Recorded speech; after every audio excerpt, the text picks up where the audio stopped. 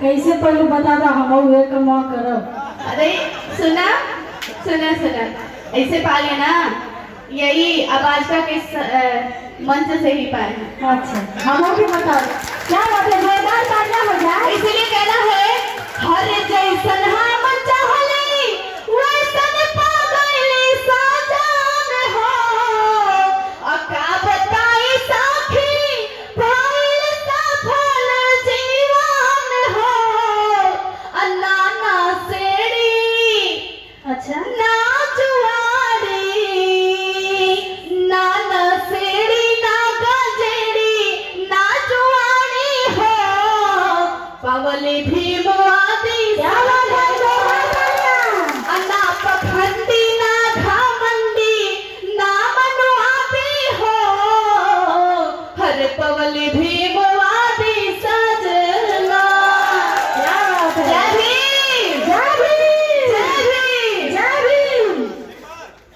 You एक चीज़ आप सबका ध्यान, मैं बराबर इस बात को आप सबसे बोलता रहता हूँ।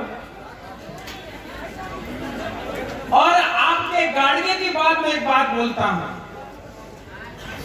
गाड़िए जब कहते हैं कि जिस पत्थर को तुम तराश करके कोई मूर्ति बना देते हो, और वही मूर्ति को जब हिंदू लोग, ब्राह्मण लोग ले जा करके झूठी प्राण प्रतिष्ठा कर देता है, और तुम बनाने वाले, कभी तुमने उस पर पैर रखा, कभी तुमने हाथ रखा, कभी छेनी रखा, कभी हथौड़ी रखा, लेकिन तुम जा करके अंत में बोलते, उसी से पत्थर से मांगते हो, जिसे तुमने बनाया है, उसी से तुम बच्चा मांगते हो। तो लोग हंसता है। तब कहते हैं, हँसते हो, फिर बाद में तुम उसी में फंसते हो। हम लोग हँसते हैं। गंभीर हो जाइए। हम लोग हँसते हैं। किस पर? अपनी बेवकूफ़ी पर फंसते हो जा करके आज बुद्ध की ज्ञान भूमि पर इसी बात पर चर्चा होनी है मैं बार बार कहता हूँ खूब हंसो खूब गाओ खूब झूमो लेकिन बाबा साहब अंबेडकर का कारवा मत भूलो और उसको हर समय याद रखो तभी जाकर के मिशन को आगे आगे बढ़ा सके। सपना बहुत एक, जब गीतकार जब बोलते हैं तो बातों बातों में पता नहीं क्या कह जाते हैं।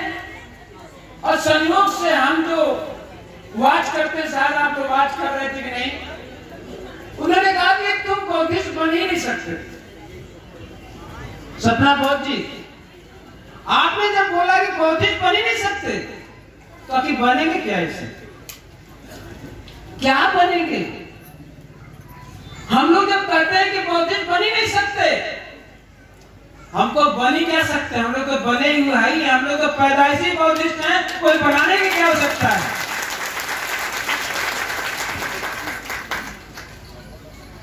और आप लोग मैं इसी मन से माध्यम से कहता हूँ भारतीय संविधान। मेरा बात ध्यानपूर्वक सुनना। और मैं गुस्से में होता हूँ तो मुझे लगता है कि आपके दिलों तक पहुँच रहा हूँ क्योंकि आप उससे मैंने आज तक तो ये नहीं सुना मैं प्यार से किसी से बात किया हो बात समझ गया हो।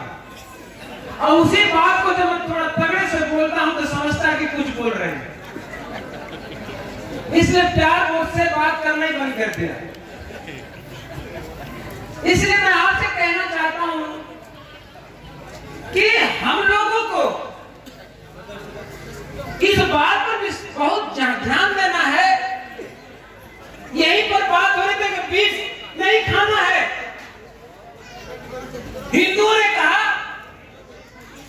अभी आपने दारू पी लिया गांजा पी लिया क्या ये बुद्धिज्म है क्या ये बुद्धिज्म है हम क्यों नहीं कहते कि दारू पीने से लीवर खराब होता है हम क्यों नहीं कहते इसलिए आज भारतवर्ष में करते हैं। तो क्या गलत करता है हिंदू संगठन?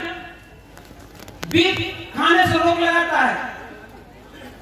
लेकिन इससे एक बार मुख्यमंत्री था, आरएसएस का। आपके गोवा में उन्होंने बीफ पर बैन नहीं लगाया और भारतीय संविधान में बोला कि खाना पीना व्यक्ति की स्वतंत्रता है तो हम संविधान की जय बोलना चाहते हैं कि आरएसएस की आवाज़ बनना चाहते हैं हम लोग क्यों नहीं संवैधानिक व्याख्या करते हैं हर चीज़ का आपके खाने पीने पर कोई रोक नहीं पाबंदी नहीं है। ये व्यक्ति की स्वतंत्रता है। शुगर वाले मरीज़ को केला दे दो, केला से मर जाएगा।